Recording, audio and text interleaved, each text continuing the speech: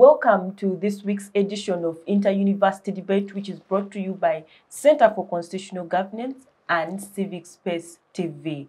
I'm your moderator for this debate. My name is Laker Fancy. I'm an advocate, a lecturer, and a tax consultant. Now, since Uganda discovered the commercial oil quantity in 2006, there has been several issues that have come up uh, in the oil and gas sector. And today we sit and discuss those issues with students of uh, IUIU, that is Islamic University in Uganda. Students of Islamic University in Uganda, you're welcome. Thank, Thank you. you. So today uh, we are looking at oil prospects to what extent will oil revenue address the social economic challenges in Uganda? So like I mentioned, since the commercial oil discovery in 2006, several issues have come up. We have seen hashtags on Twitter that are still running up to now, Stop EACOP. We have seen the EU report where the EU sat and decided to halt the operations of Total in Uganda we have seen issues of human rights, environmental issues coming up, several people questioning uh, whether the oil money will even reach the citizens, issues of corruption. So today, all those issues will be discussed today. Before we go into the merits of today's discussion, let me introduce the panelists for today. I'll start with the gentleman that is seated right next to me. He's very familiar uh, with the inter-university debate since he was in the previous season, and that is Mr. Magala Fred. Fred is pursuing Bachelor of Laws from IUIU, and then he is the Justice and Constitutional Affairs Minister He's the Norbert Mao of IUIU. yes, he's also the speaker of LSS. You said LSS stands for? Law Student Society. Okay, Law Student Society. So yeah. that is your, it's like the Uganda Law Society of, yeah. of IUIU. True, true. Okay, so you're welcome to the inter-university debate. Thank you. Okay, our second panelist for today is Ms. Tusiime Pauline. Yes, Pauline is the state minister Islamic University Students Union, is a state minister, and chairperson, Moot Court Committee. You're welcome to the Inter-University debate. Uh, thank you. A little bit of correction. I'm a state minister for constitutional affairs. Oh, so you're his state minister? Yes. Okay, so you're seated next to your boss? Yeah. Okay. okay, so our third panelist for today is Miss Asiimwe Mackline. Yes. Yes, Mackline is the clerk Moot Court Committee and pursuing Bachelor of Law. So you're all law students. Yes. Mackline, you're welcome to the Inter-University Debate. Thank you so much. Okay. Our fourth panelist for today is Mr. Lemi John Bosco. Bosco is also pursuing Bachelor of Laws at Islamic University in Uganda. And he is the Deputy Chairperson Debate Committee and Presidential Advisor on on-campus affairs. You're welcome to the Inter-University Debate. Thank you. Yes. So to our panelists today, as mentioned, we are talking about the oil prospects and uh, the how the discovery of oil and gas in Uganda it's going to solve the socio-economic issues in Uganda. And as we know, Uganda has grappled with several socio-economic issues, which uh, I'll leave it to come out from the panelists at a later stage. And we have seen the excitement from the population when the final investment decision was signed. So we will look at in this debate, will the oil prospects live up to our expectations and excitement? So before we delve deep into the discussion, let's start with the overview. And I'll start with you, Fred. Uh, what is the historical overview of the oil and gas sector in Uganda? Thank you, Ms. Gender Fancy. Um, Uganda is uh, an old nation and uh, did not only start from independence, but draws way back uh, from our ethnicity and everything. So when it comes to oil and gas, the industry, the industry's history draws back to over 1925 that is uh, by a report that was made by a researcher, that is E.Y. Um, Wayland. And uh, this was a European, indeed, who went on and tried to gather information about oil and the different explorations or the seepages that are within the graben or what we call the greater Albertine region that is in the Western Rift Valley of uh, East Africa. So preferably, I'm going to give an overview, a history, historical background about the oil and gas industry in Uganda. Um, to be more specific, we are talking about all the seepages, all the exploration, and how it came up. But we have to be very sure and we have to be conk and exactly know where and which exact position are we talking about. We are talking about the Albertine region, which is Lake Albert, which borders Uganda and Democratic Republic of Congo. As I told you earlier, that first it was, an, it was a European who came up with a, little bit of research about the same. But later on, we are seeing in 1930, more discoveries are made. And the first, at least, well, deep well was drilled. That is Waki 1, and that was uh, in those districts of Butiaba, in a, a district of Hoima in the Butiaba region. What is it about? It was about seeing and exploring and knowing that now there is oil in this region. Furthermore, if you draw your attention to the year 1945 to 1980, we are seeing the World War setting in. Which World War II setting in? It now had to put the development um, of the oil and gas industry at stake. Why? Now, the colonialists had to change because now Uganda was taken as at least a food rather than anything else or to mine the minerals. And uh, then the Niger or the West Africa was taken on for the mineralization and extraction of very many things other than minerals, but also other economic things that were made there. Uh, preferably, we'll go on and move to uh, 2003. 2003, we are seeing more wells being discovered, which more wells are now, at, um, most of them were a little shallow, but then people went on to do on and drill them. But uh, before maybe we to 2003, we can draw back to when Seven sets in, that is immediately after Obote 2. We are seeing that now he brings in policies that have to at least uplift the oil and gas industry. Um, which policies? He's now strategizing capacity building within the oil and gas industry. So he's giving it a boost. So now the boost comes in, in around 1980 up to around 2003. We are now strategizing and we are seeing how many companies are now coming in, which companies are getting interested. This is when we always see Tullow Energies getting interested in the oil and gas industry in Uganda and coming in and doing more what we call electromagnetic uh, survey or exploration, where we found out more wells around the graben. We moved on to around 2006, 2008, the commercialization. Now, more industries come on, such as uh, and also Total EP. So Total EP is different from the Total we see usually. Mm. Total EP is uh, majorly the one uh, for exploration and production, right? Yeah. And uh, this Total and the other companies are now urging to come and invest in the oil and gas industry in Uganda to explore, to extract, and also make up backup agreements that at least will benefit the nation as they're also getting some profit. Moving on the same lane, we are seeing more laws that are being created in order to govern and make sure that this oil is extracted well. You know, Ugandans were very different at times.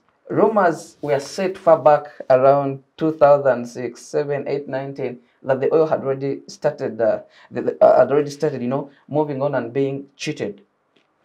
But I can assure you that that is not right because our oil is too heavy to the extent that it's like shoe polish.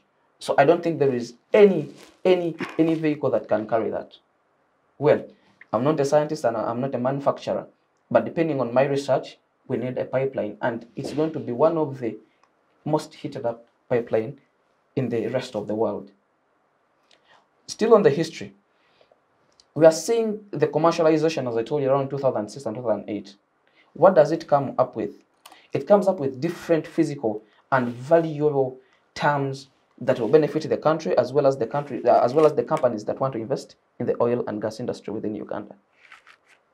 So we are moving right away from uh, we are moving uh, from the first stream at least to the middle stream to the development part of it. To the midstream. Yeah, to the midstream, to the development part of the of uh, of the oil and gas industry. Now we are starting to see developments coming up. Which developments? We are seeing companies signing in order to construct roads leading to Hoima, which Hoima is now, I think, the oil city, if I'm not mistaken.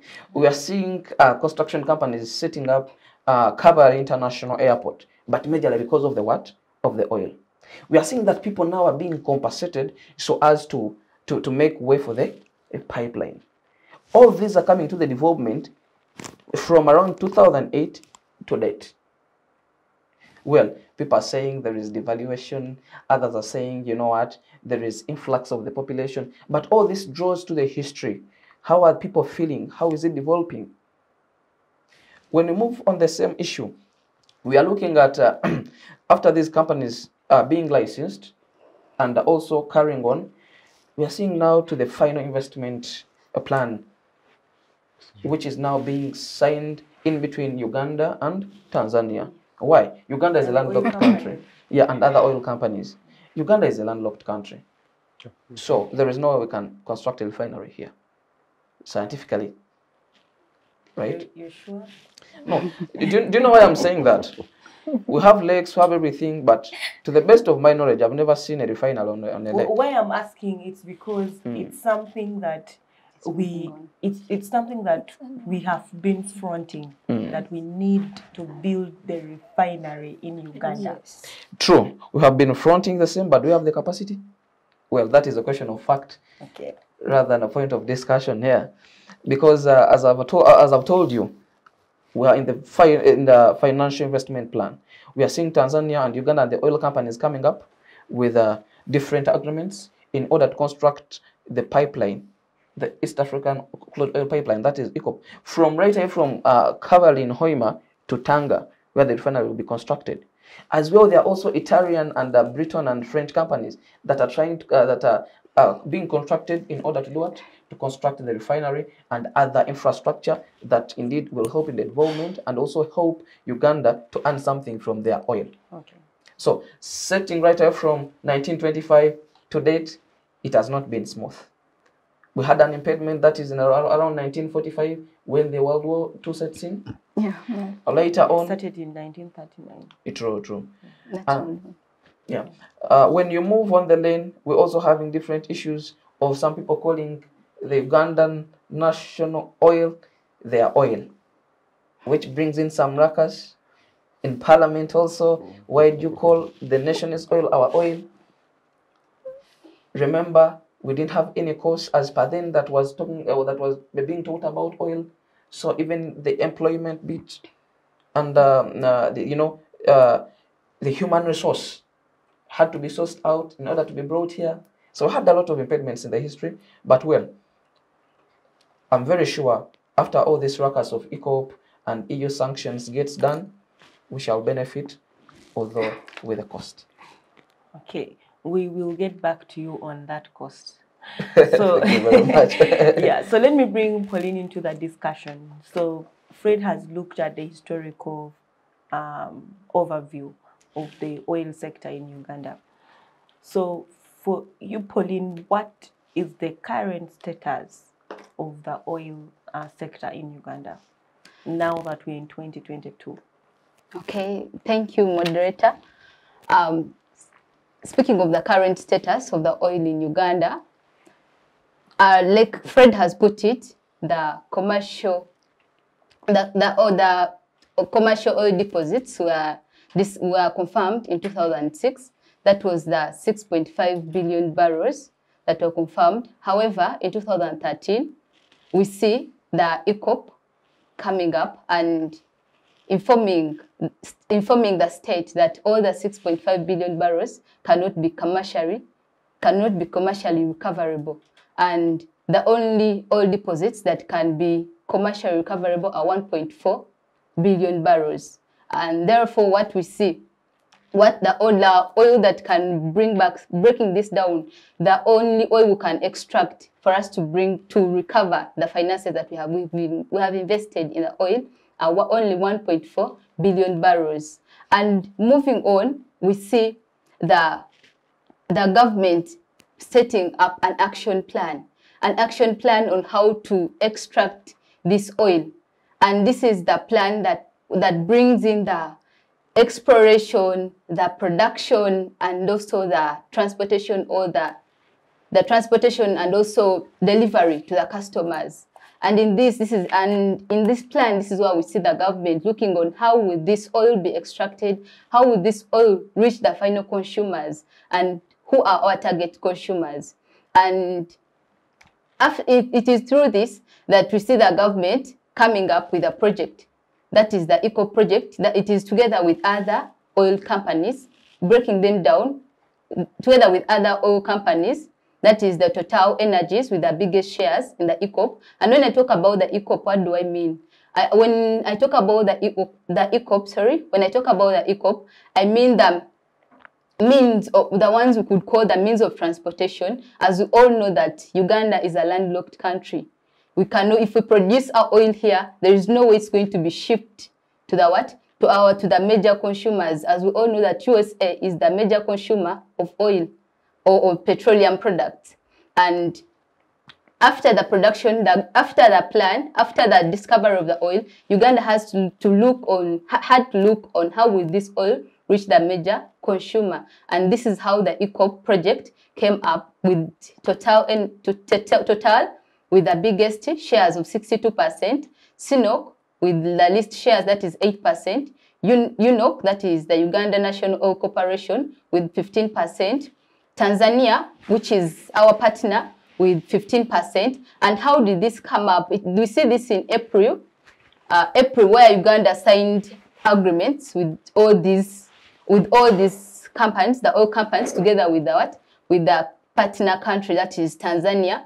We, they signed the Tanzania agreement. They also signed the shareholders agreement and other two agreements that were signed on in the same month of April, that is 2022, this year.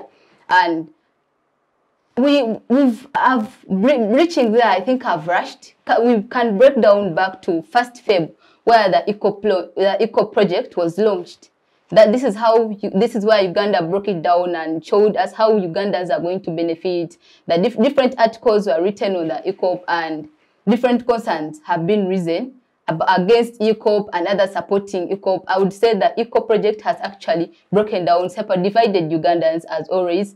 And this is the status of the oil currently in Uganda. Currently, the status of oil is we are still in the upper stream where the oil is still under the exploration. Uh, it has it was already explored. That is by the Tala, by the Tola oil industry. It, Tal Tullow or uh, industry, sorry. It was already, it was, the exploration part was done. And now we are looking at the production and the transportation or delivery. And that we are partially in the midstream where we have seen developments, the developments in the oil city, that is Hoima. We've seen the airport is almost 70% complete. We have the petroleum school that has been constructed, that it is an institution in still in Hoima. And we also have, we, we are also looking, we've also seen that roads have been developed. So I would say the status of the oil currently in Uganda is that it is, we are still in the upper stream, but partially moving towards the midstream. Okay. Thank you. Okay, thank you so much, Pauline, for giving us the current status of the oil sector and uh, as well as uh, showing us how prepared Uganda is for the oil. Let me move and bring Mackline into the discussion. So Mackline, this is a sector that is described as um, there's a lot of investment and money being put into the oil sector by all the parties. And my question to you is, how prepared is Uganda legally, the legal framework uh, that Uganda has put up in place to prepare for this oil? Um, thank you so much, Mrs. Moderator. Um, uh, on the legal bit of it, uh, the legal part of it, um, Uganda has signed agreements with various countries. These agreements are both international and domestic. By international, I mean it has signed with it has signed agreements with countries out, and domestic, those are on maybe legal acts that are being put in place, uh, such things. So allow me begin with the international bit of it. Uh, first of all, Uganda is a landlocked country that we all know. So there is no way Uganda can uh, transport its oil freely. So by that, Uganda had to seek consent from Tanzania. Remember, Tanzania is our partner. We all have 15, 15%. So Uganda had to seek consent from Tanzania, of which Tanzania accepted. And when Tanzania accepted, uh, that led to an agreement, the intergovernmental agreement. What was the essence of the agreement? Uh, this agreement was to harmonize all countries, like in in in in, in areas of rights, land, standards. You all have to have equal equal standards. You know the fact that they have consented. You know they may turn against us, but this contract. You know the reason as to they put legal legal frameworks is to make parties binding to their agreements. So there is no way you can turn against anything. So they had to to put that agreement. Fact that Uganda is being landlocked, so we had to get an outlet through Tanga, and we had to sign an agreement with Tanzania. Um, secondly, we have the most recent agreements. Uh, those are the agreements between um, Uganda and EACOP. Uh, Uganda and EACOP Tanzania and EACOP, those ones were signed, I think, in May, in April, yeah, in April 2022. Those are the most recent ones that have been signed.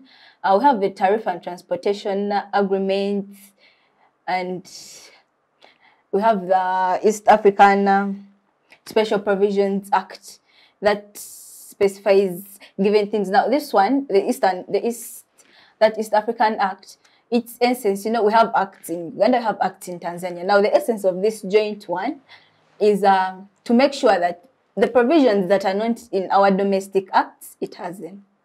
So it's to harmonize. Harmonize, yeah. It is to harmonize both countries. So I come to the to the domestic bit of it, our domestic parts, our Uganda. Uh, we have the Water Act if you're to, to, to, draw attention back, you realize uh, the pipeline is going to be passing through various water bodies, the Victoria basins, um, River Chivale, very many, River Kachanga. So we have to get uh, the, the, the, essence of this act is uh, to facilitate for all that, the water provisions. Uh, then we have the National Environmental Act, uh, that one specifically deals with the environment, right to nature, and basically section three and I think four of that act, they talk about our right to land and the right to to have the nature, and um, we have the the Petroleum Waste Management Act, um, the Petroleum Exploration and Development Act that was enacted in 2013 uh, the Refining, Conversion, Transmission and Midstream Storage Act. And the essence of this one is it's a legal foundation and de uh, development of refineries and other midstream infrastructures. Like it's to bring all that mid midstream thing out, the development process out. Yeah, you. Okay, thank you so much, Mackline. Before I bring Bosco into the discussion, I just have one more question for you. So looking at the legal framework that you brought out, would mm. you say Uganda is legally prepared enough for the for the coming of the oil? Yes, according to me, I believe it is legally prepared because it not only has the acts or the legal bindings, but it has also come up with institutions to to make its bond stronger. You don't have to be prepared for something. So that is what Uganda is trying to do. It's doing all its best to make sure by the time everything starts, they are ready. At least they have done their best. You know, you can't be a hundred percent um, prepared, even if you want. Even if you repeat, you know, we begin a semester at the beginning of the semester. We have all the time, but we, we, you get to an exam and you still haven't gotten prepared a hundred percent. You know, mm. prepared but not hundred percent. Mm. Yeah, so that is it with Uganda. Uganda has come up with uh, the PAU, the Petroleum Authority of Uganda uh, the Petroleum Foundation, the UNOC is there for us. So to me, I think it is very prepared. It is doing its best. Okay, thank you. Um, Fred, do you have something to add? Oh, well, I was looking at her assessment of the legal framework and uh, I'm informed. I'm informed. If I'm to add anything, I'll spoil the soup. okay. okay, before Fred, Fred spoils the soup, let me bring Bosco into the discussion. So, Bosco, I basically have two questions for you, but I would like to start with the first one that I asked Mackline. Your perspective, do you think Uganda is prepared for the extraction of oil? Uh, Not you. just extraction of oil, the oil sector, is it prepared at the moment? Thank you very much. Just before I answer the question, I uh, usually love to be referred to as Lemi. When you refer to me as Bosco, I think about the other gentleman who, eh, who was the MTN advert. So, that is funny. Okay. so um, back to the question. Uganda, we are in this uh, we're in this state of euphoria whereby we think we are ready for this activity. And I can vividly tell Ugandans out there and anyone on this panel that uh, we are not ready for this. We are excited, we are jumping, we are, we are, I mean, we're having this sugar height that is making us feel like uh, we are ready for this activity. By, uh, she um, my colleague has stated all the legal framework, which Fred did not want to spoil, but I really want to know what Fred has to say later on. However, in my own opinion, I think Uganda needs to sit down and really understand what actually this oil thing is. We should not just uh, dive into it. Well, someone is going to say, I mean, we've been looking at this for almost a century, since 1925 to Yeah. 2022. Yeah. Um, you know, countries like Nigeria, countries like Libya, countries like uh, Morocco, uh, Saudi Arabia, all the countries in the United uh, in, uh, in the United Emirates and all that stuff. These countries have had these oil things for a lifetime, and uh, they've built these refineries.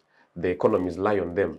I mean, we Ugandans, even our coat of arms clearly shows uh, we're having cotton, we're having an antelope, we, we, we are having, I don't know if it's tea or it's grass. And, and, and we should, I think cassava of late should be added to the coat of arms. yeah. in, in, in, remember in primary, we learned all those things on the coat of arm. So, yeah. and uh, I remember we learned that the backbone of Uganda's economy is uh, agriculture. And I really think it will be so sad that uh, we are spending so much money on uh, this oil thing when we're not ready for it. It's simply a wrong step that we should not take. Okay, uh, let me. Yes, let me. let me let me use that name Yes, since it's your preferred name. Why do you say we are not ready? One, we are not ready because um, we call it our oil and we're having 15%. Does it make sense to anyone that it's 15% and it's our oil? That is in EACOP. not only in EACO, um, even uh, the agreements that are signed. These people have signed agreements whereby uh, we cannot finance it ourselves. When we cannot finance something, we end up borrowing extremely largely. Earlier on, I was sharing with my colleague that uh, every Ugandan is born with a debt. Every Ugandan living is having a debt. Till when are we going to keep on increasing the debt burden on each and every Ugandan? we are not ready because we cannot finance it. That's one of the reasons we're not ready. Secondly, I don't think we've had extensive research into understanding in detail as to what legal framework is necessary for us to begin running these uh, oil activities. No wonder the EU came up to criticize the human rights abuses, the environmental degradation, and all that. It's because we are barely acting uh, from a point of ignorance with smiles on our faces as though we are informed and as though we are working out these things. But at the end of the day, one thing I'm quite accomplished with is that we are not ready for it and it will take us another much more longer time. We also don't have the labor. We are importing Chinese, we are importing uh, Europeans, we are importing uh, all kinds of people to come and work on our oil. Of what benefit is this going to be to me, to you? We are not ready at all. Let us send children to school. Every person who does physics and mathematics and passes well, go and study oil and gas. Five years later, you will come back. We shall be ready then. As of now, we're not ready. We need some more time. Okay. Madam Thank you. Fancy. Hello. Thank you. I see. I see. before- Fred, you I see. support- Fred. I see. I see. Fred wants to contradict, Fred, and Pauline. Pauline wants to support. So let me start with Fred. Uh, preferably, if you say we're not ready for, for the oil production and everything, uh, the first question would be what is business? And what is risk in business? Two, can you get a solution to a problem that is not existing? Three, the burden, the, the, the debt burden is still going what? High, even without oil. Yes? Uh, looking at the corruption within the nation, you know, they always borrow and end up not knowing the what? The Can- budget. How can I they- ask Fred one First question? way, No, no, no. Let's just way. let Fr- Fred you know, finish his they end up borrowing large sums of money and we don't know where the money goes. You know, they tell us they are selected and uh, very hidden budgets that we cannot know about. You know, you, you look at a queue of tanks from the border of Tanzania to the Ugandan border and it's being brought here. Why can't we risk and borrow and invest in our what? In our in, in, in the oil production. Leave alone that, as you stated it well, oh, that we don't need. I, I'm saying that we don't even need to do what to borrow, because I know agreements lapse with time, isn't it? Yes, it is. Yes, these companies can invest, and after investing, when we start production, they will get out their investment capital, and we shall stay with our oil because it is there to stay. You know, very many wells are being discovered day by day. The airport is being built. Well, we might uh, we might not have those you know strong technicians, but well, there are people in that region, in the Graben region, that are benefiting from this. You know, we cannot take on every chance because Remy, you are studying law. Are you aware that, like it or not, a legal course regarding oil has to come up? Now, are you going to are, you going to now wait and start five years, then you come and apply it? Where are you going to apply it? Let the industry start, and then we can constitute the human resource. Because now, as you say, as uh, well, Mackline stated, that we have now a petroleum school there. Now, would that petroleum school go? Which people people should not just go there for the sake, but they should go there and knowing that For a purpose. immediately after here, employment is there. Mr. Lemi Frank, I don't want you to put your nation below your feet. I want you to focus on your nation as your mother. You, You know, Okay. first way, first way. Okay, Allow let, let, First interject way, let, little. let Fred First way. finish. this gentleman resembles one of the wisest men in Uganda. That is Obote. Because of the hairstyle and skin complexion. I bet you wise to that Ah. extent. Because I'm seeing you're not frauding the nation. We cannot we cannot look at the debt burden, but now we have to look at the risk of how we can recover the debt. What? You well stated it. Every child is born with one point something debt. Hmm? Should we let it increase or let us risk some funds and putting off part of the contract such that we can compensate? Okay. before before before Lemi comes in, let's have Pauline, who has been waiting. Yeah, um, I like the conversation, first of all. Like, Fred has actually made my work easy. He first brought out the, the corruption bit of the country. He brought, he has, he has shown us how our funds have been mismanaged. And the same government that has been mismanaging our funds is the same government that is going to manage our revenue from the oil. Let's leave that out. Mackline talked about the institutions. We've had various institutions in, cha- in charge of various projects. We've had several projects. We've seen the coffee project. We've, we've had various projects that the government has always brought in, saying that this project is going to eradicate poverty in Uganda. But where are those projects? And in all those projects, we've risked funds in them. The government has put the taxpayers' money in, that, in those projects. The government has risked the taxpayers' money on the disguise of we are taking a risk. Fred talked about business, that the we have to believe in the risks of government. Haven't we seen enough risks in Uganda? Haven't we taken up enough risks? If the money that this money that is going to be invested in the EACOP, if this money is put up at least and they set up a coffee processing industry in Uganda. We have a lot of coffee being produced in Uganda. Okay, let me, let me just ask Pauline one question. So, Pauline, you're saying the money should be put into coffee processing. Um, so, no, no, no. My question here comes. Okay. What do we do with the oil discovery? We pretend we didn't see it. the my my point on that is putting the money i didn't i mentioned coffee to represent agriculture the money i talked i meant the money being diverted into agriculture what do we do with the oil to, for the purpose of oil we are all looking at the profits the two billions that we expect to get out of this oil project the two billions per year we are expecting to get out of the of someone's oil the person who always claims it's my oil so we are expecting get these two billions, whereby we are not even sure how these two billions are going to be done, what to be used. And the other thing, we are holding the profits we are going to get out of the EACOP at the cost of our environment, at the cost of our climate, at the cost of human rights of the people of Uganda. We are holding the profits we're going to get from EACOP. And now what do I say? What do we do with the oil? For me, the oil has been silent and we can let it be silent and proceed with other projects that can develop Uganda. And one of them is now. the No, no, no, no, no. agriculture. Let me just No, no, no, submit let's, a let's, let's You know, ceasefire. you know, let, let, let, let- no, Let let Pauline agriculture, finish. which is the backbone of Uganda. And for, for from wherever we've reached, Let Pauline finish. No. and from wherever we've reached, Uh-huh. And from wherever we've reached, where Uganda is, it's because of agriculture. There is no doubt on that. And agriculture and tourism. Those the tourist attractions are being destroyed in the construction of the airport. Moderator, Okay. I, I have uh, a single Oh, no, question. no, no, no. Let's ceasefire. Ah, earlier, Probably earlier. saying No, no, no. put all our eggs in one basket. Yes, eh? which is in one impossible. basket. What if that basket falls? That is one. Then two, Pauline, oil, agriculture. These are two activities that can supplement each other. Let us get out of the have both of agriculture. them. We support the oil. Then later on, we shall get from the oil and make our agriculture great. We are still Then using go hand by hoes.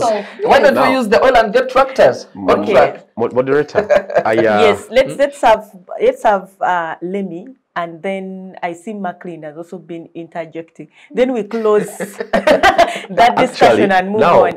first of all, I want to react to Fred's earlier submission before we proceed. Uh, Uganda is a nation that uh, has been under one solemn family for over 35 plus years. And um, we have had a history of. Uh, And Britain, how many centuries? we, let's we, let's, we, let's we- have Lemi finish. we have had a history of uh, gross corruption throughout. We have had a history of people not only stealing money, people not only uh, taking uh, what doesn't belong to them, but uh, in the Bible they say give what belongs to Caesar to Caesar. But uh, on social media you see memes, people saying me taking what belongs to Caesar. That is exactly what's happening in Uganda. Yeah.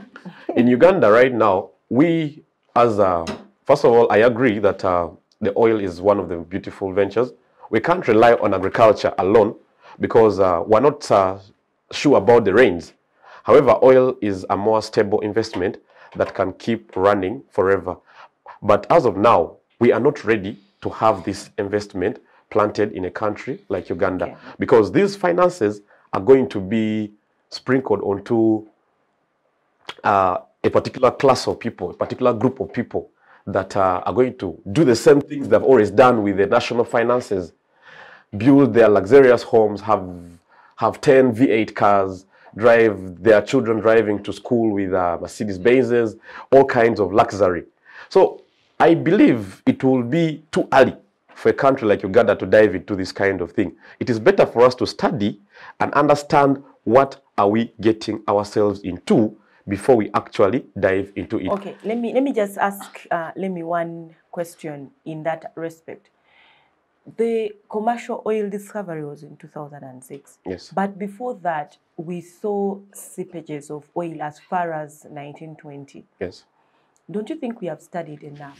Do we need more time to study Um, the oil? by the mere fact that we are still importing labor, by the mere fact that the Oil and Gas Act was drafted in 2020, by the mere fact that uh, we have no refinery, by the mere fact that uh, we have just signed the final investment decision, by the mere fact that uh, we had never thought about a pipeline before until 2020, by the mere fact that uh, people have not yet been compensated fully on the land that has been taken, by the mere fact that, uh, I mean, all this has happened and these are just patches to one single art piece that is showing incompetency, that is showing lack of ability, that is showing, uh, I mean, we are like lame people trying to jump on uh, on one, on I mean, on a race of 100 meters where we are running with Usain Bolt and you are lame.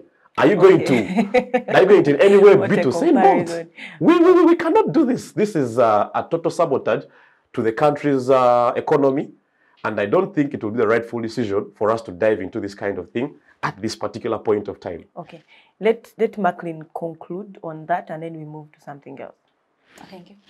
Um, to add on what you've said, you asked him a question that, first of all, we, the first discovery was in the 1920s. The, co- the, the commercialization was in 2006. Those are old years.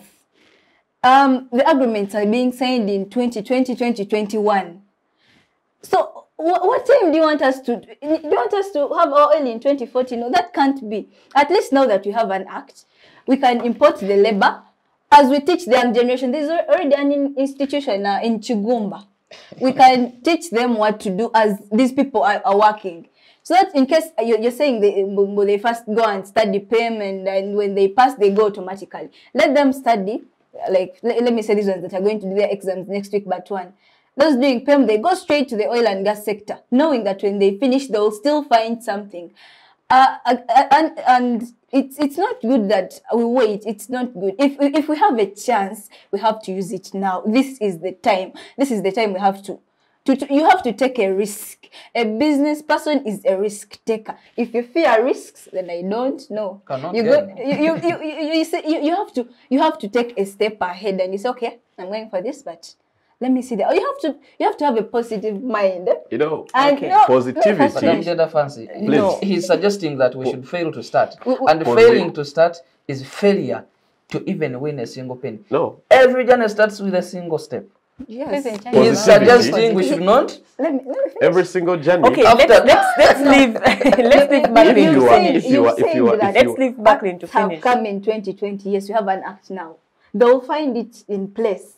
They'll have where to start from. It's not like they're beginning from zero. True. You know, they're beginning from something. You know, if it was maybe like in 2006 where we have nothing, we have no act, we have no legal legal frameworks. Then, but now we have something. Let us give it a try. Or we- you're saying it's agriculture. Agriculture is our backbone. Yes, I believe that. Okay. But Thank you. Thank can- you. Mackline, Mackline, I just react to no, Mackline? Mackline concluded on Just- that aspect. In the spirit of moving forward, Just I'll, in the spirit of moving forward, Okay. I'll start right from here with uh, Fred. So, Fred, what are the expectations of Ugandans when it comes to oil? Because we are seated here discussing legal framework and discoveries and so forth. The Ugandans, we have seen their excitement with the final investment decision. What are their expectations? Thank you.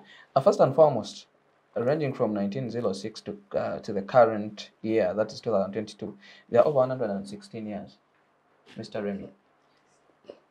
I thought we were moving I- forward. yeah, yeah, we are moving forward. I like the way he's shooting at me. First and foremost, we are we are ready for the oil.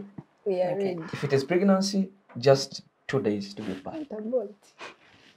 Now, what are Ugandans expecting is the question at hand. Whenever your wife is pregnant, you can never expect a dead baby. They are all happy and excited about the positive outcomes that are coming with exploration, production, and the final investment plan. First and foremost, they are looking at the economic uplift. How? We are having very many sectors. Our budget is 51, almost 51% from donations and loans and everywhere. Now, these people are expecting an economic uplift from this oil. That now we are going to be able to at least earn over 2 billion US dollars per annum. You get it? So they expect that many are going to be employed in the sector, whether as those technicians or these lay workers. You know, the airport is coming up, but it's coming up because of the oil. Kampala International Airport. We are going to have, we already have aviation schools here. It means more people are going to get jobs. Cleaners. Madam Moderator, please tap on Fred. He's having this phantasmagoria. I don't.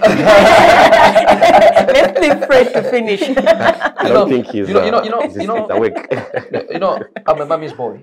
She always tells me one thing act till you make it. Act till you make it. Meaning, before you're a student lawyer, if you are not one, I would be expecting you to be putting on maybe a t shirt and sandals. You get it? But you are forging a way out till you make it. So we are going to forge a way out till we do what? We make mm-hmm. it. First, I was talking about the employment, the economic uplift. Two, we are looking at the infrastructure development, which we have already now experienced and got to see. We are seeing tarmac, you know, roads well constructed. From right out from Hoima to the border of Tanzania, linking us to Tanga. We are seeing these feeder roads also being done well. We are seeing schools being set up, the infrastructure development. People are expectant about the same. Three, we are looking at oil uplifting the rest of the the, the rest of the uh, the rest of our sources of money, like agriculture. When we get money from there, then we can reinvest and boost the agriculture. You get it? Because people are still using hand hoes. People are still using, you know, people now are are still believing that to get massive production, you need an acre. But because of the new technologies, we no longer need that. But why is it not put here? Investment. Money for sensitization. All those policies need money. And people are looking at this oil money that is going to boost everything in the economy. Okay. Right? Now, moving on to the last thing, the social bit of it. And also the improving the international relationship. You know, between Uganda and the rest of the nations. Uganda and the rest of the nations, for example, we are seeing now the agreement between Tanzania and Uganda. Are you seeing the same? Between Uganda and Tanzania, this agreement is creating more friendship relations with us. We are seeing Tullow Energies coming away, right away from Britain, coming to Uganda, another bond. Total from France and other countries, another bond. Are you seeing how our international relations are growing broad? Leave alone that. We are seeing Bia on Twitter every time tweeting, you know, some tweets and uh, all, and the father. Who's beer? Well, let's move on. I know, I know the viewers know the person. they are tweeting about our oil as their oil, but Robert Mugabe spent 90 years. By by the time he was president, at least he went into his 90s. In 30 years. He died. He left. And right now the state is being run by another what? It is a matter of time. We shall not complain about corruption. It is a matter of Time. which matter of time I know with what I've laid that Ugandans are expecting the economic uplift, the social uplift, the infrastructure uplift. Mainly those three points. They cannot be contented by God's by God's will. One day, the regime you are saying that is too corrupt will go. Okay. But One day, Ah. Bia and the father will go, and uh, the father will feed Bia. him from any other Okay. country. Moderator, just a, just one interjection. Okay. Uh, Fred is uh, is saying uh, he has spoken a lot. However, all Fred has said is I can summarize into one one simple thing. We are simply digging a hole to fill another hole. That is what Uganda is doing at this point of time. When you say we expected two billion dollars every year, how much have we put in? I mean, how much have we put in as of now? And out of all this money we have put into this investment, where has, has it come from? Has it come from the pockets of Ugandans? Has it come from foreigners? I can assure you, it has come from foreigners. None. A little, very, very insignificantly little has come from Ugandans. And if it has come from Ugandans, it's from the few very prominent, rich Ugandans not even not even the national uh, like the national accounts and all that stuff. So when we see all that happening and uh, someone tells me we shall the regime of Bia and his father will come to an end are we going to promote immorality in society because we are optimistic of one day things coming to a change? The question is will you allow rape to continue, defilement to continue in society because you hope that someday the rapists and defilers will die? Okay. So Does it- right right from that angle, we are taking a short break and we'll still come back with the same discussion on the oil prospects in Uganda. Thank you. Digital rights are those human rights and legal rights that allow individuals to access, use, create, and publish digital media or to access and use computers, other electronic devices, and telecommunication networks. Digital rights include a right to freedom of expression, information and communication through technology, a right to privacy and data protection, a right to credit for personal works, a right to universal and equal digital access, a right to identity, a right to anonymity, a right to be forgotten, and a right for protection of minors, among others. The state's digital rights are frequently violated through various unfair actions, for example, blockage of websites and social networks, theft of credentials, unauthorized use of people's data for personal gain, privacy intrusion, online censorship, arrests and intimidation of online users, internet blockages, and the proliferation of laws and regulations that undermine the potential of technology to drive social, economic, and political development worldwide. It is hence every citizen's responsibility to respect rights of other digital users and to speak out or report to the responsible parties when Welcome back from that short break. We are still with students of Islamic University in Uganda and we are discussing oil prospects, how the oil sector is going to solve the socio-economic challenges in Uganda. So coming back from the break, uh, let me start with Pauline. So Pauline, we have seen the EU decision and we have seen hashtags that have been running on Twitter and protests and several other issues um, where it's being alleged that there are human rights and environmental issues uh, connected to the oil sector in Uganda. So my question to you is, what are some of those issues that have come up? Thank you, moderator. Yeah, we've on the 15th of September this year, we saw the EU coming up with different resolutions on the, about the human rights abuses, the environmental abuses that are going on in Uganda due to the EACOP. And fine, would say maybe it was wrong for the EACOP, sorry, for the EU to come up and invade itself or engage itself uh, into the issues that are concerning Uganda. But we are Ugandans. We are Ugandans, and we are seeing what is happening in Uganda. We are seeing what is really happening in, happening in our country. Were these were these resolutions wrong? Were these allegations wrong? We have the one of the issues they rose in their concern was the human rights abuse, and to the, according to different reporters, that these human rights abuse are actually going on in that in those regions and those districts where the EACOP is settled, where the EACOP is planning, where the planning to the where the pipeline is going to pass. We've seen that the government has acquired over 2,000 acres of land.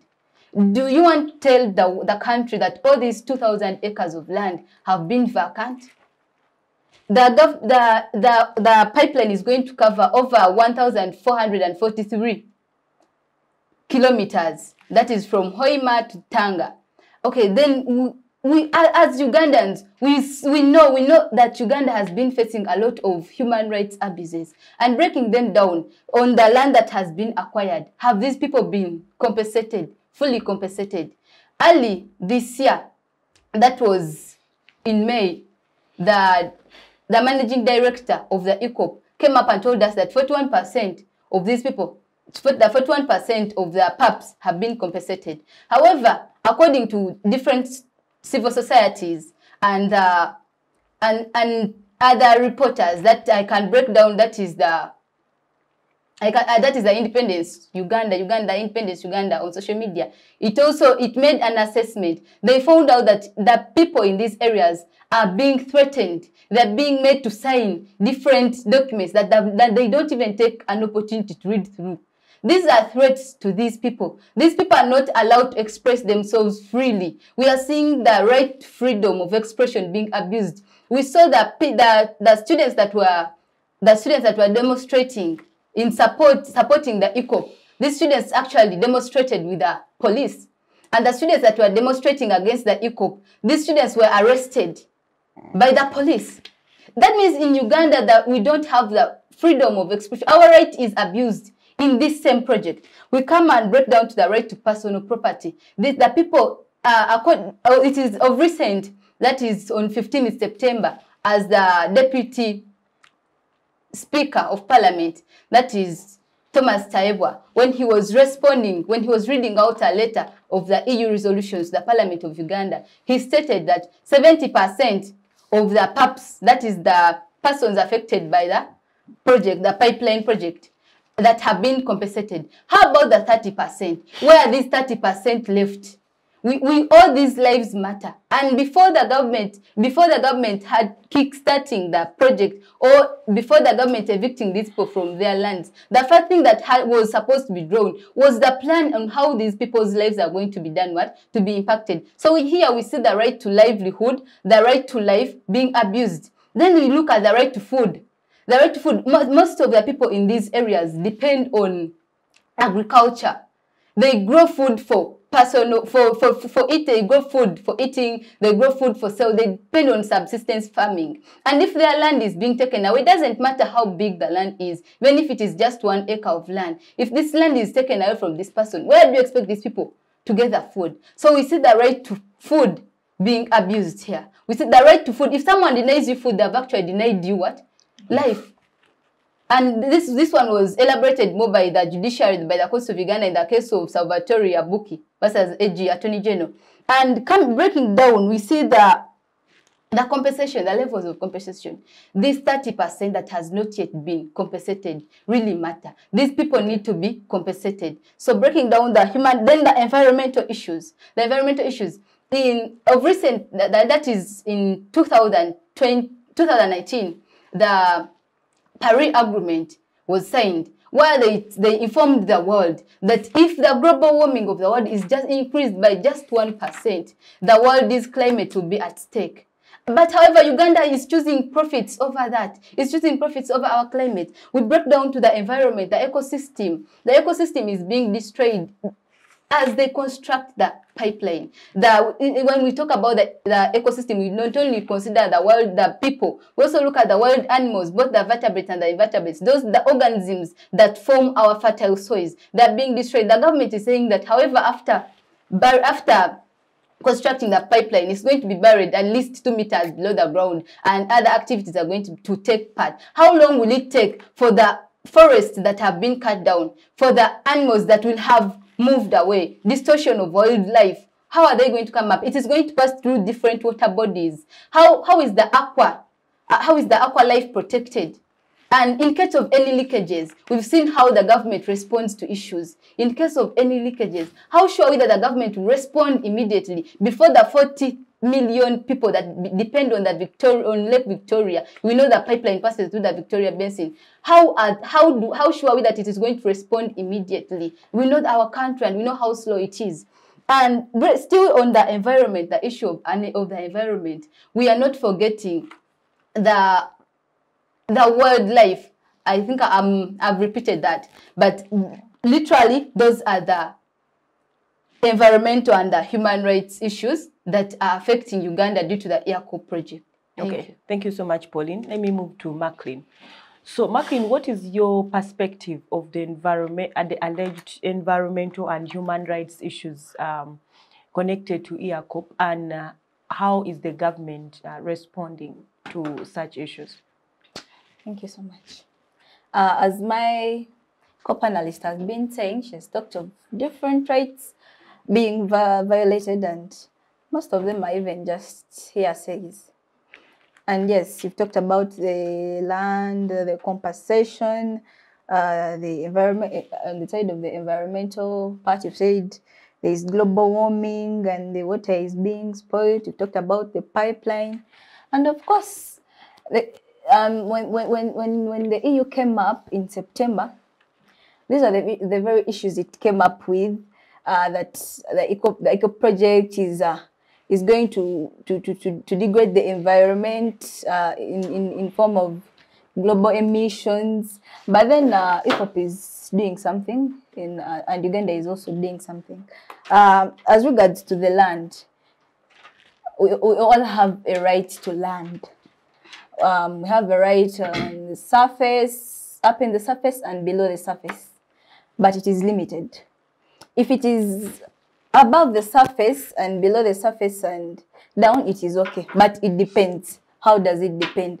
If we have minerals below, then you're entitled to the space, this upper space and the upper space. So what am I trying to tell you? Is that uh, the government has gone on to take its position um, about the, la the land. The government is compensating those people.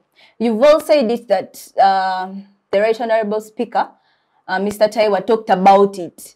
Uh, and they said 70% is being compensated. Yes, the 30% that has not yet been compensated, uh, those are the people that uh, have problems with the verifications of maybe their documents. Um, others have their own myths or traditional myths. You know, uh, since time immemorial, the very people, uh, that's even where the, the Europeans got the most of the resistance from. So those people are kind of, you know, some people are just, you know, that is what I'm talking about. Does it mean that those ones? No, Are you saying no. Bunyoro has never changed when it comes to No. Let's no, no, let's no, no, that is their nature. That's that a their nature. question. But Mackline, you can Yes, finish. and they're being compensated. The government has gotten acres of land to compensate them in in which place? In some place called Chaka Chakavan or something like that. It is getting the land to compensate them. The government is going to build schools for them. It is going to renovate their health centers, the Kabale Health Center, that is fighting for their health.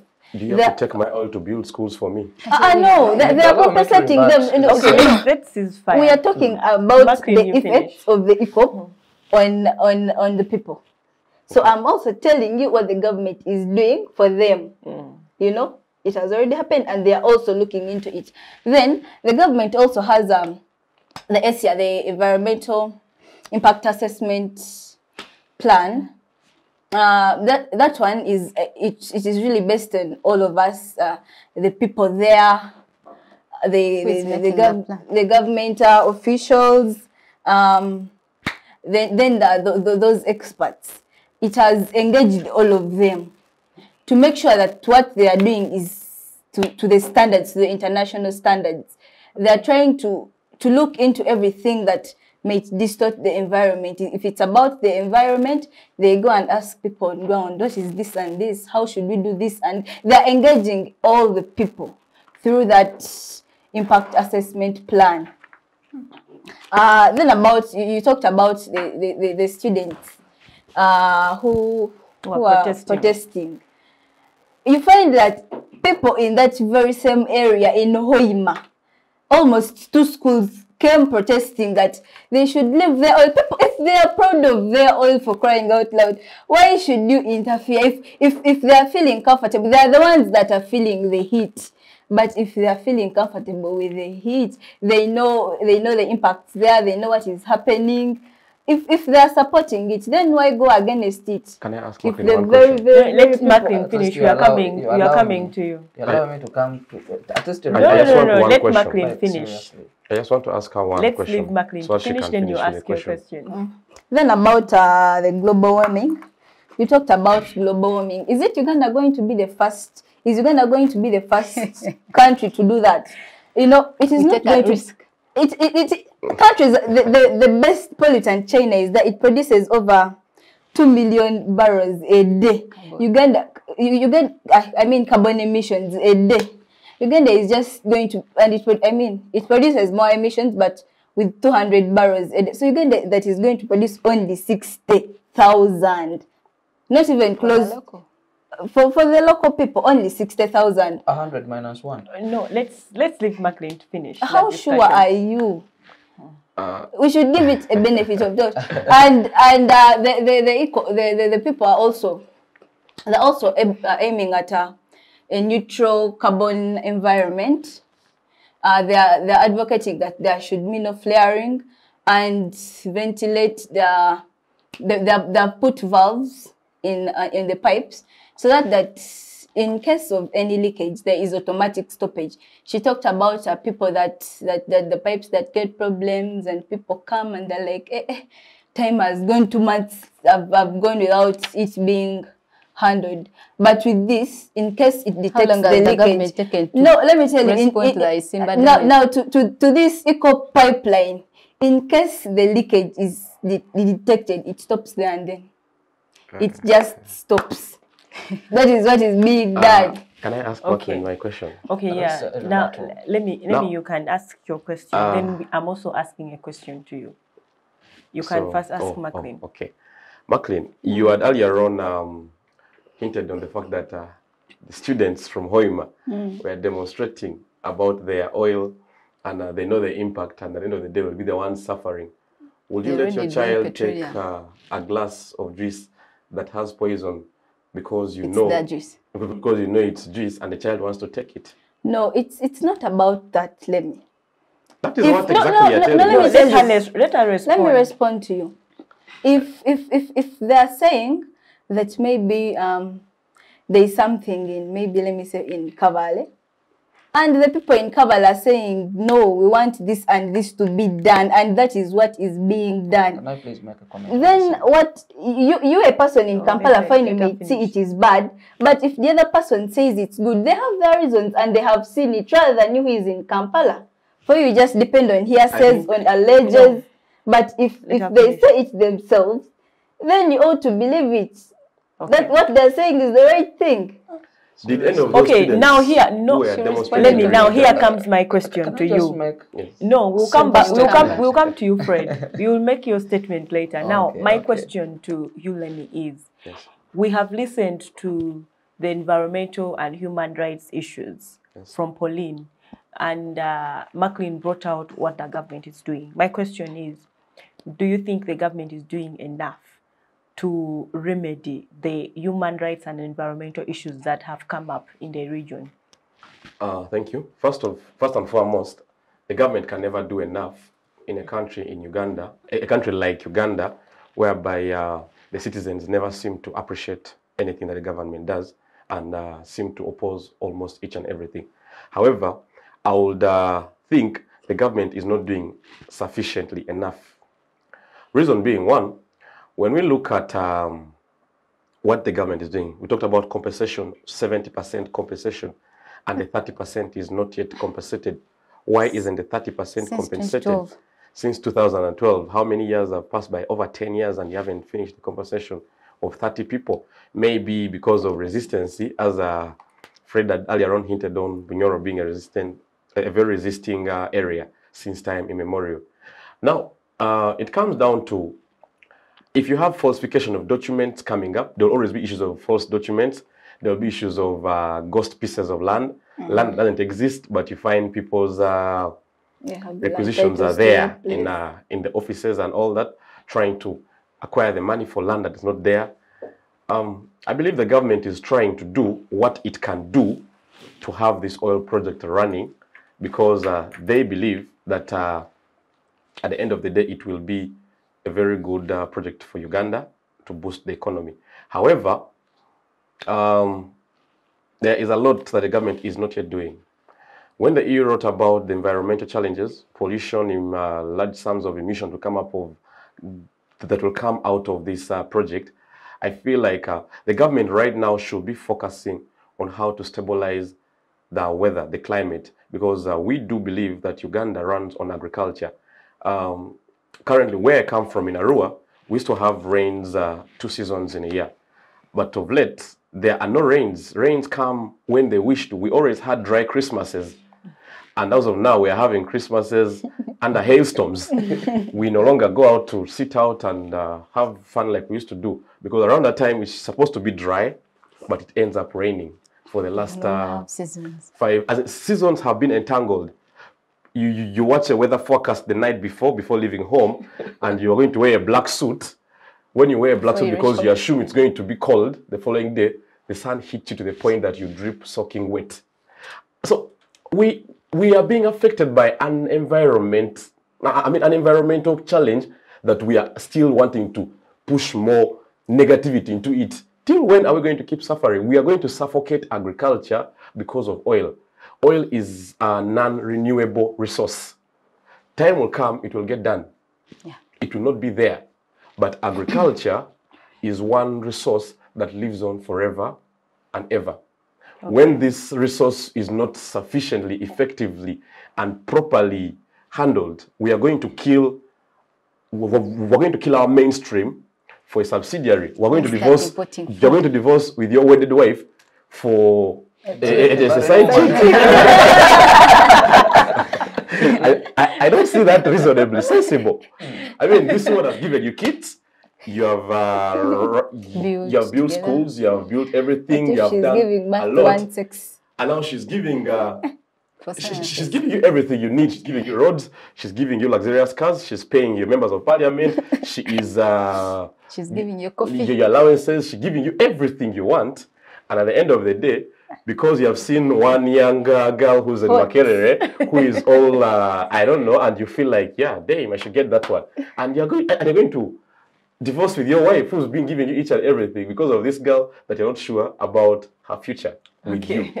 And uh, one last thing, no one should lie to Ugandans that uh, the government is going to build schools, is going to is going to build institutes, is going to build roads, is going to build an airport, or is How many are building those things because of oil. Let's, let's leave let me finish. It is the responsibility, it is the obligation, and it is the role of the government to construct roads, to construct schools, to construct hospitals, and to have the economy running. No one should tell you that it's because of the oil, and, And it's it not should a not be favor. at the cost of the people. It is not a favor. I pay taxes willingly and unwillingly.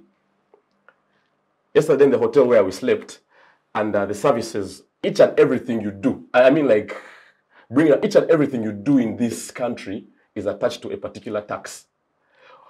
Of recent, I was seeing uh, on news these um, the chicken. Uh, I mean, the farmers of, of chicken Poultry and all the, farmers. the poultry farmers. They are imposed the, and the, the people who import concentrates, yes, the a feed concentrates. feed concentrates. They imposed an 18% tax on these people, Yeah. a rise of over 60% rise. With tax. deadly chemicals And now, if you are even taxing chicken feed to that level, what what what, what more are these people, what can these people do?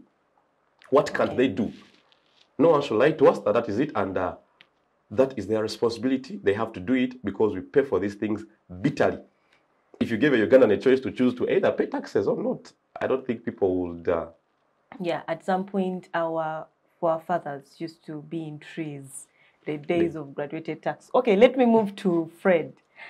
So, Fred, we are still looking at these environmental and human rights issues, and my question to you is how best can these issues be addressed? Uh, can we remedy these issues and still benefit from the oil? Well, you cannot find a solution for a problem that is not in existence. That is one. You can go work So. I don't expect eh, a remain Is it the way- is it weather? to dress up if he didn't have anything to cover. Should I be naked? It, it, it, is, it is a statement of fact.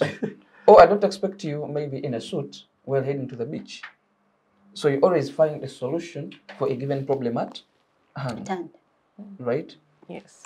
Therefore, you cannot be stopped uh, uh, to going for a conference because it is raining. What will be the remedy? Get an umbrella. Yes, an umbrella will not cover you, the whole of you. Well, the shoes will get some water, but you have to be there. I don't know if you're getting some sense out of my little sensible statement.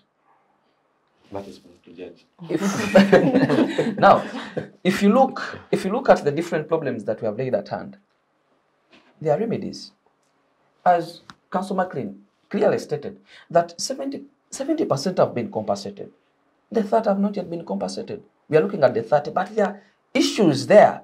Should we compensate a person who cannot prove that the land is his? Can we compensate a person? Can we compensate a person for a land that is under contention? There are over 20 people saying the land is theirs. Who should we compensate? What is the remedy there? Instead of giving these people money, let us get a resettlement, Settlement area. which has been done. No. Yes. It is still in plan to know, be Let's, done. let's, let's You know, leave Fred to finish. It is not, it's not a guarantee that you have to be mm. informed about everything. But when someone speaks, you pick and you get informed. A place or a, a resettlement area is there. And many are refusing to go to that area. You get it? So the government in every way is trying to find a way and is trying to get remedies to these issues. And for the first remedy I've given you that we are they are taking these people to at least a resettlement area. And in that resettlement area, they are putting different structures, hospitals, well-made roads, and churches, plus water areas. Then what do they need? That's one of the remedies. Two, about human rights. At times we, we, all not we, we all not choose to err, but at times they are what we call necessary errors. We get it. Look at the oil and the income that comes with the oil. And look at this old aged man who is saying, I'm not moving away from here because there is a shrine. This is where my forefathers have been. Uh, they have been buried here, so I cannot allow the pipeline pass. This this old woman, this old woman or man who is about 80 years, is stopping a project that is going to help the young what generation.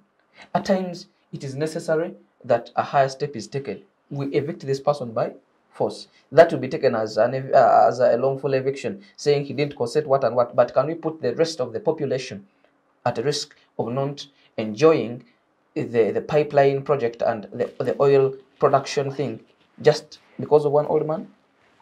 So we are putting it, we, the government is, is, getting, is, is getting ways of compensating these people. The government is getting ways of restoring these people however much they don't want because some of them are just rigid.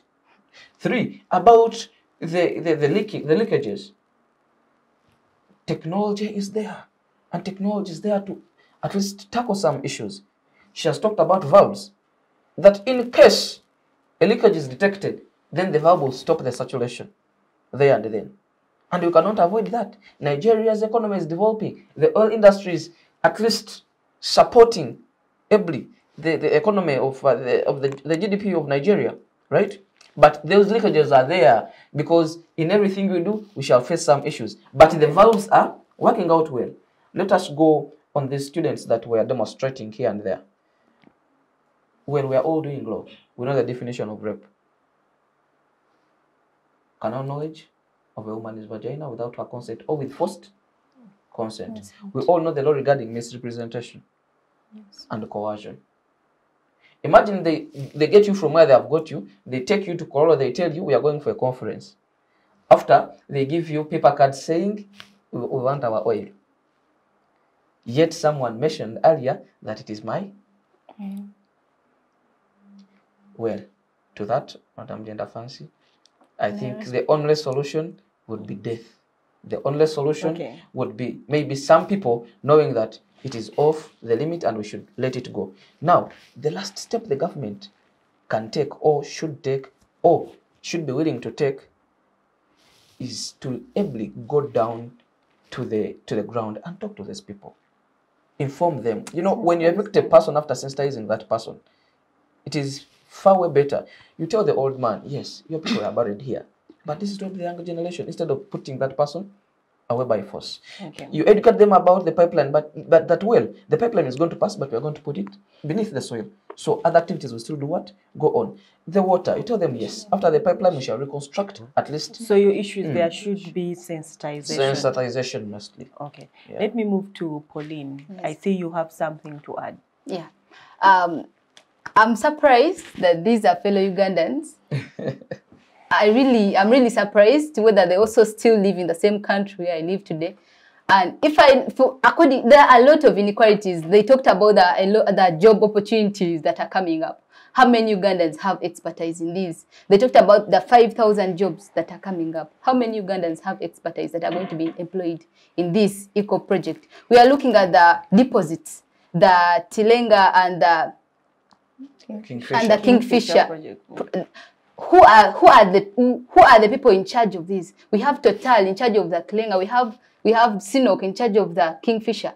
These are all non-Ugandans. Those those themselves, those are inequalities that the Ugandans are facing. They talked about compensating and leaving out the thirty percent. That because this person has because we all have cultural rights for heaven's sake.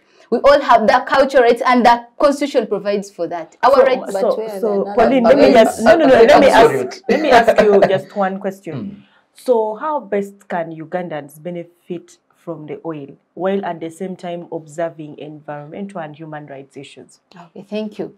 Um, first of all, if what the project, what the what is in the plan, for example, the plan is good. We are not refusing. The plan is really good. The EACOP plan is really good. Uh, how they're planned, how they're going to control the carbon emissions through that, that they say they're going to use the solar to heat the to heat the oil. They're going, they have put valves to trap. They have also put trackers to trap the leakages. They've said they're going to recover the ecosystem after and all this shows that we are going to recover back. But what my point here is this is the country where the levels where we lose 2.8 billion dollars every year in corruption. 2.8 billion dollars every year in corruption. And we're expecting and we're expecting 2 billion dollars in the oil. How sure are we that this oil this this this these profits we are, getting, we are getting out of this oil is also not going to be to be diverted into the is not going to be owned by that one family that always uses our money. How how ugandans are going to benefit from this whole project as a, as a person first of all maybe the first thing we could we should do is maybe be optimistic whereby the word optimistic in uganda no longer works Okay. I I feel like Ugandans who co- I feel like Ugandans who, com- who they can benefit fairly. They can benefit from this project. That is the developments that have been put. It is, it is through accepting the development that is going to take place that EACOP is going to bring. That is that those are the infrastructures. Then we look at the roads that are being constructed. We offer our land, and then maybe if the the if the people are called upon, then maybe here we can talk to the people. If they have been called upon, then maybe here we need this land for this project. Maybe they can turn up.